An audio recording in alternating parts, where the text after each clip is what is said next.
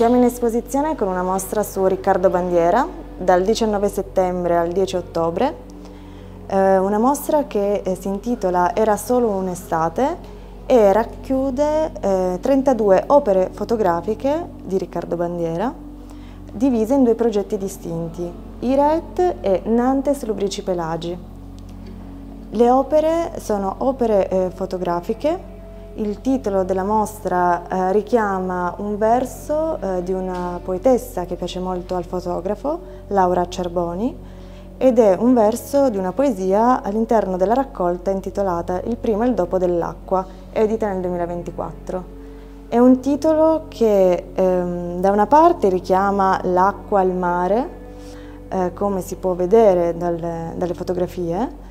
dall'altra eh, richiama una, un senso di malinconia per una stagione che sta eh, per concludersi e la stessa malinconia si ritrova come eh, tema ehm, generale delle fotografie esposte.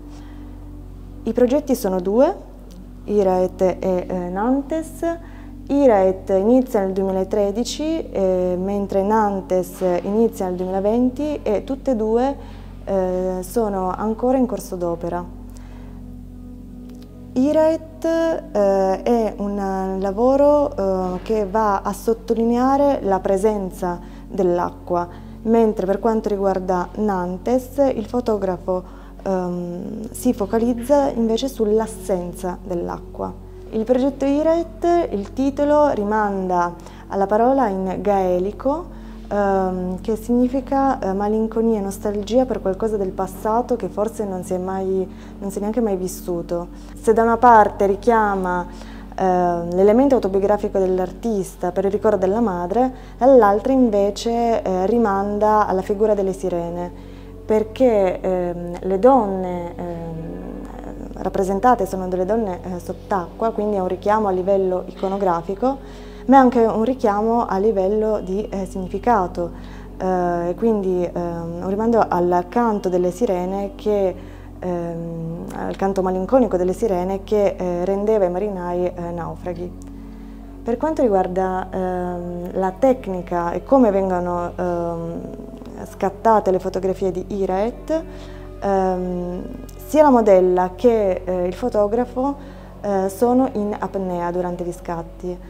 e ehm, il fotografo ehm, cinge la vita con una cintura a cui eh, appende dei pesi per rimanere ehm, a un livello ben preciso sotto il livello del mare, in particolare a 5 metri di profondità eh, a livello del mare.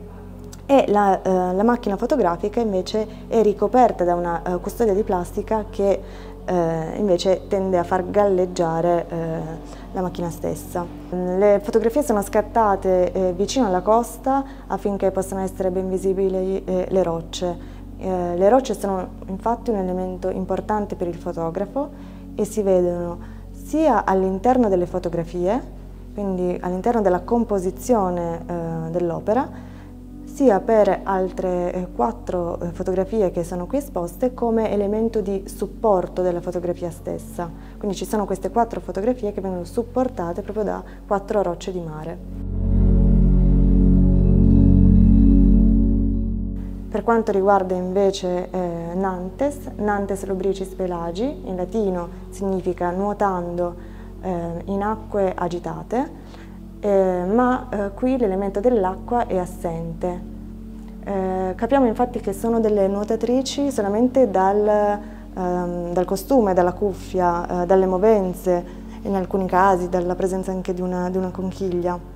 eh, ma eh, l'acqua qui non c'è. Le nuotatrici simulano le, le movenze del nuoto in, ehm, in, una dimensione onirica e con degli sguardi malinconici. La particolarità di queste fotografie è il fatto che siano scattate interponendo tra fotografo e modella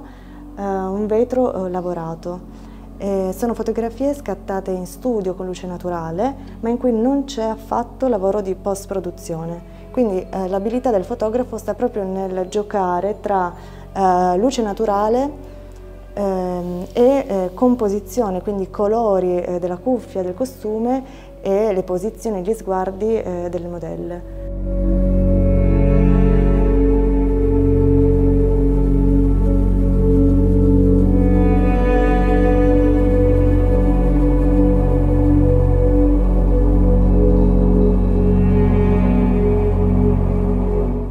ovviamente due serie nate in tempi completamente diversi, quella underwater, quindi sott'acqua, nasce nel 2013 eh, e la ripropongo praticamente ogni anno perché scattando in mare aspetto l'estate eh, per riscattare ogni anno alcune foto nuove. L'altra serie, Nantes Lubricis Pelagi, eh, invece del, nasce nel 2021 circa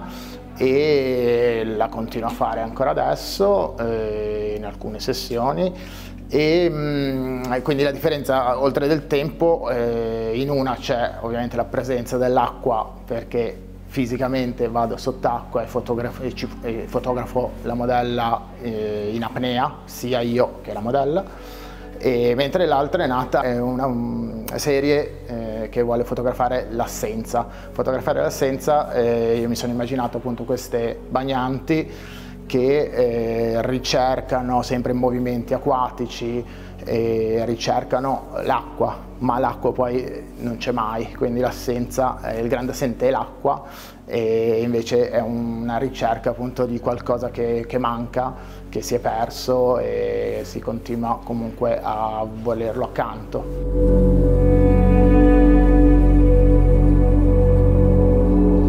Io ho iniziato un po' circa nel 2010 a fotografare, eh, vabbè, eh, in questo caso, in queste serie dove appunto c'è l'acqua è un elemento che a me è ovviamente molto caro perché io sono nato eh, in Liguria, in Peria, quindi, e, ho vissuto sempre lì, quindi il mare è una presenza molto forte